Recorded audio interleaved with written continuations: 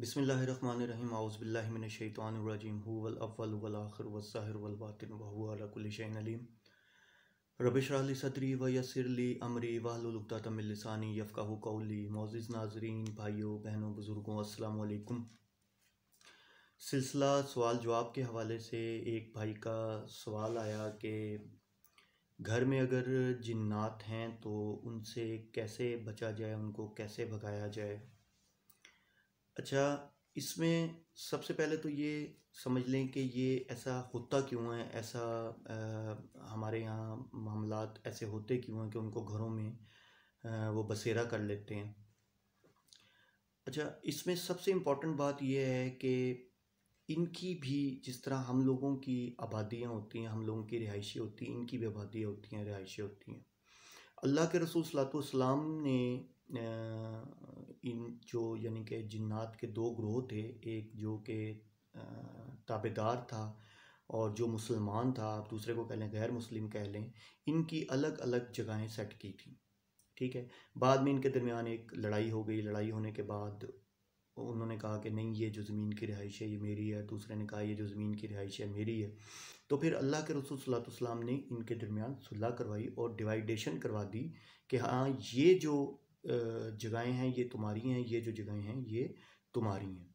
यानी कि जो नेक और मुस्लिम थे, उनको यानी कि नेक और जो फर्मा बरदार जिन थे, उनको नबी पाक ने जंगलात और पहाड़ों का दे दिया उनकी जगह मुतन कर दी और जो नाफरमान थे, उनको सहरा और जजीरों में पाबंद कर दिया। अब ये घरों में क्यों आते हैं? घरों में आने की वजह क्या है? अगर अब आप यूँ समझ लें कि अगर फॉर एग्ज़ाम्पल एक, अब इसमें भी मुख्तलिफ़ कैटेगरीज़ हैं। मुख्तलिफ़ कैटेगरीज़ ये हैं कि घरों में अक्सर अक्सर घर आपने देखे होंगे जो काफ़ी अर्से से खाली होते हैं, ठीक है? वो खाली होते हैं तो खाली होने का मतलब ये है कि वहाँ कोई नहीं है, ठीक है? वहाँ ये इनकी पॉसिबिलिटी हो जाती है, ठीक है? और, क्योंकि अल्लाह के रसूल सलाम की हदीस है कि अब आप देखें खाली घर हो कोई एक साल से हो दो साल से हो तो समझो ये कब्रिस्तान है। तो अल्लाह के रसूल की हदीस है कि घरों को मत कब्रिस्तान बनाओ ठीक है? इसमें भी कुरान की तिलावत और नमाज़ पढ़ो ठीक है? तो अब आप देखें कि जब आप अल्लाह के रसूल सलाम अल्लाह और उसके रसूल सलाम के ख़िलाफ़ काम करेंगे और मतलब ये मामला करेंगे तो ये आ, ये वहाँ इनका बसेरा हो जाता है। अब दूसरी बात जो सबसे बड़ी प्रॉब्लम है, जो कि इन चीज़ों को हम तक लाती है, अब अगर आप कुछ अर्सा पहले पीछे चले जाएँ थोड़ा सा बहुत पीछे चले जाएँ तो वो आपको पता होगा कि जो गसल खाना होता था, वाशरूम जिन्हें हम बोलते हैं, वो घर से बाहर होते थे। ठीक है, ये मामला कम होते थे। उसके बाद वो घर के सहन में होने लग गए मामला थोड़े से बढ़ गए। फिर अब हम इनको कमरों तक ले आए हैं। कमरों तक ले आए हैं और उसकी वजह से ये मामला जो हैं, बहुत ज़्यादा बढ़ गए। ठीक है?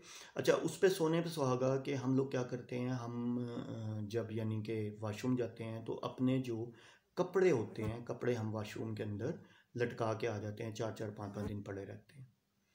क्योंकि जब पढ़ाई की जाती है, कुछ भी कोई इंसान तलावत करता है, नमाज़ पढ़ी जाती है, कुछ भी होती है तो वो क्या करते हैं, उनके लिए भागने की जगह नहीं होती तो उन, वो क्या करते हैं, भाग के जगह लेते हैं कहाँ? गसल खाने के अंदर। अब गसल खाने में आपके कपड़े भी मौजूद हैं।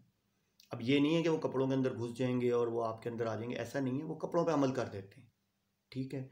अब उससे क्या होता है, उससे क्या होता है कि उसकी सबसे बड़ी निशानी ये है कि जिस घर में इस तरह के मामला हों, वहाँ ये होता है कि ज़्यादातर बीमार, बीमारी जो होती है, वो बढ़ जाती है, ठीक है? बीमारियाँ बढ़ जाती हैं और लड़ाइयाँ होने लग जाती हैं घर के अंदर ना। तो चूँकि जिन्नात जादू करते हैं ये तो जो अमल करते हैं उसकी वजह से ये लड़ाइयाँ, झगड़े बढ़ बढ़ जाते हैं, ठीक है?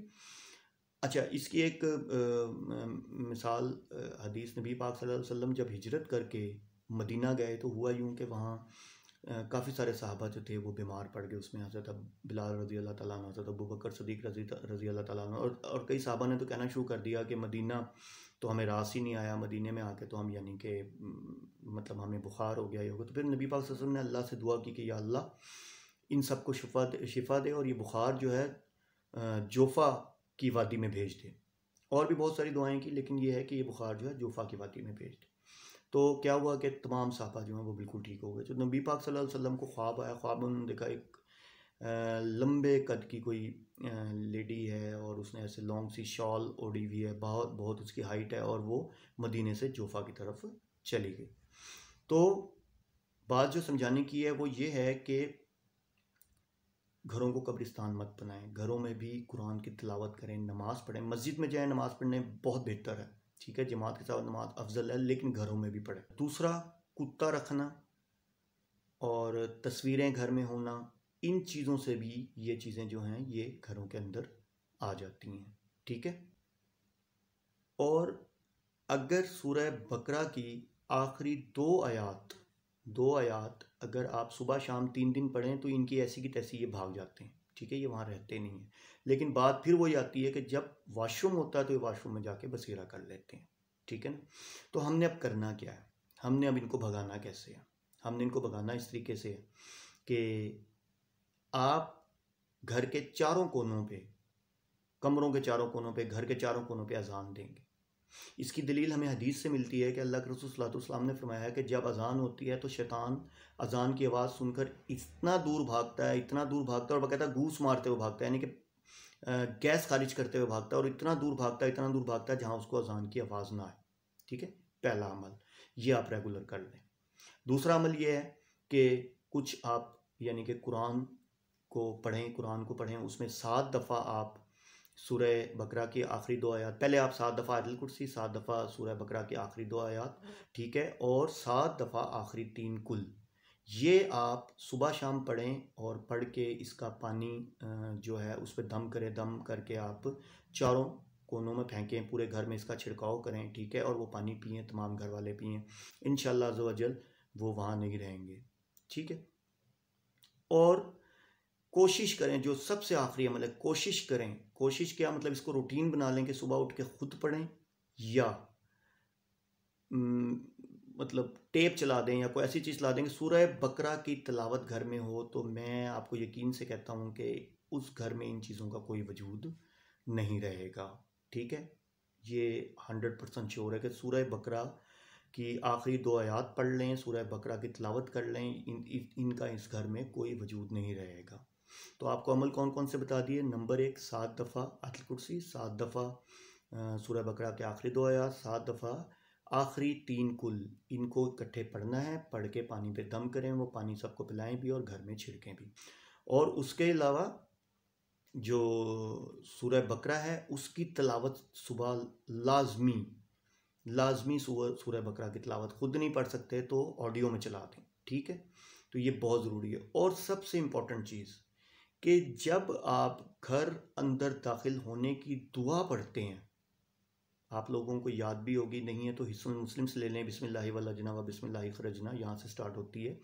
तो क्या होता है कि शैतान चीख मार मार के कहता है कि भाई यहाँ से निकल जाओ, अब हमें इस घर से, घर के अंदर जाने की इजाज़त नहीं है, क्यों? इसने अल्लाह से पनाह मांग ली। ठीक हो गया। तो ये ज़रूर करें। इसी तरह वाशरूम में जाने की दुआ वाशरूम से आने की दुआ। अच्छा इसी तरह आप, जो सोने की दुआ, सोने से उठने की दुआ, सुबह उठने की दुआ तो अलगर्ज आप हर वक्त अल्लाह का ज़िक्र करें। इन अज्जल इन चीज़ों को घर में कोई जगह नहीं मिलेगी और ये घर से भाग जाएँगे। या होपफुली है कि वो ये जवाब बिल्कुल अंडरस्टैंड कर गए होंगे और अल्लाह वजल उनको दीन में इस्तकामत दे, आपको भी दीन में इस्तकामत दे और आपको हर बला और आफात से महफूज रखे, मुझे महफूज रखे वाखरुदवाना अनिलहमदिल्ला रबालमीन